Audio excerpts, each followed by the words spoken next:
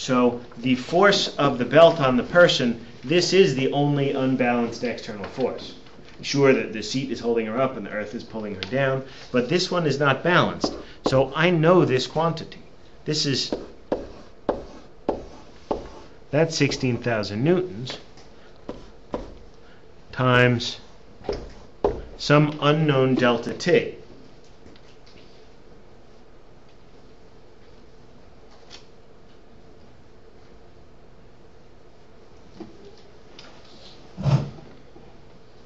Take a question from the students in the classroom.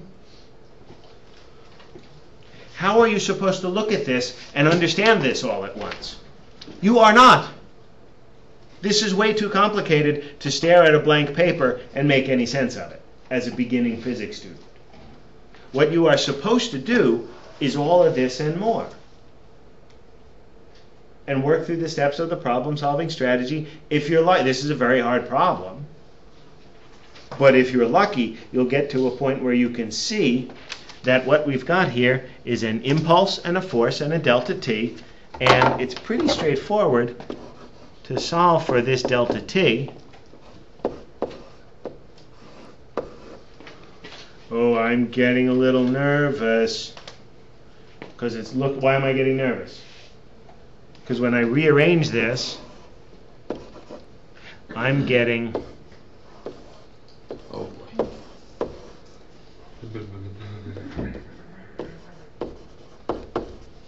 I'm getting a negative number for a delta t. That doesn't happen outside of science fiction. So that delta t's got to come out to be positive. Did I make a boo-boo somewhere?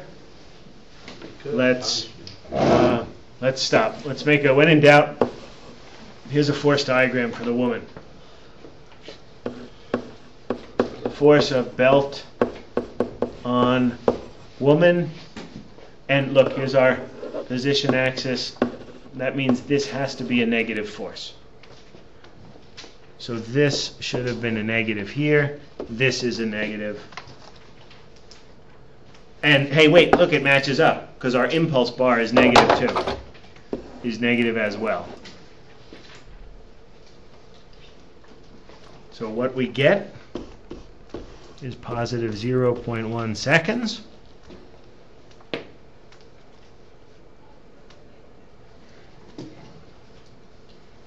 Is that a reasonable number? Is that a reasonable number to be stopped in a car crash safely?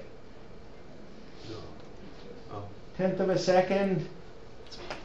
I mean, it's not all that long, but slowing down from 55 miles an hour?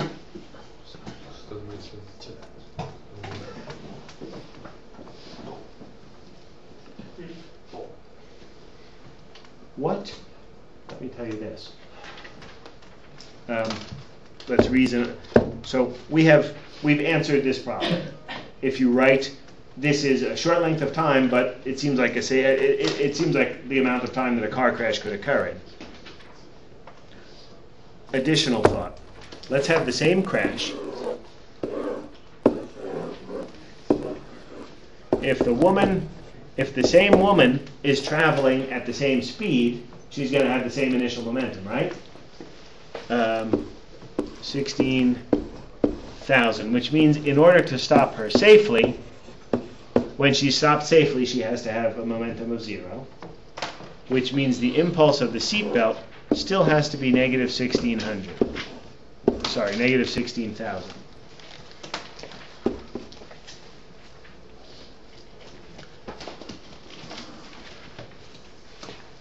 What happen what has to happen let's say let's say instead of plowing into another car and coming to a stop at a tenth of a second what if um, what if we drove into a bridge abutment and stopped in you know essentially no time whatsoever a millisecond A bridge what? uh, that's you know the concrete side of, a Oh, bridge, okay. of an overpass so what if she stopped in only a millisecond instead of a tenth of a second what force would be required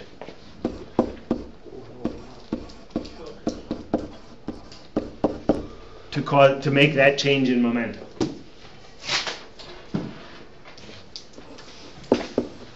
um, that would be.